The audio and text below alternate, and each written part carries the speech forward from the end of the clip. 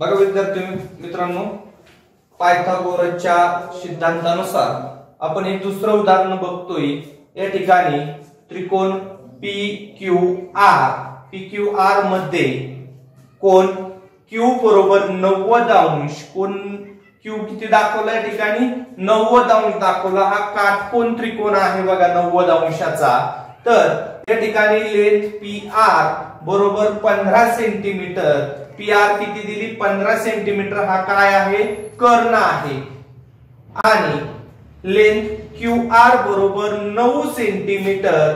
तर length P Q बरोबर किती? आता या ठिकाणी जर बघितलं तर पी क्यू ही काय आहे? पी क्यू ही या ठिकाणी आपल्याला उंची दिलेली आहे. मग त्रिकोण पी क्यू आर चा बाजू पी आर हा काय आहे?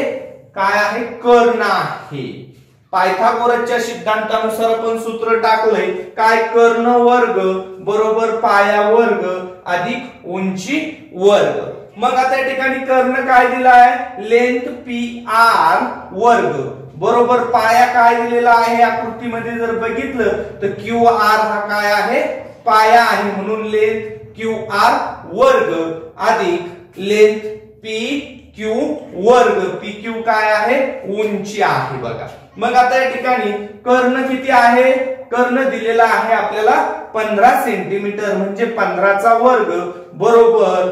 या ठिकाणी पाया किती दिलेला आहे? नऊ. म्हणजे नऊचा वर्ग. आधी कोणती बाजू काढायची आपल्याला उंची या ठिकाणी काढायची म्हणून लेन पी क्यू वर्ग. मग आता पंधराचा वर्ग आहे दोनशे पंचवीस बरोबर नऊचा वर्ग आहे एक्क्याऐंशी. अधिक काय? लेंथ पी क्यू वर्ग. मग या ठिकाणी दोनशे पंचवीस वजा एक्क्याऐंशी. बरोबर काय?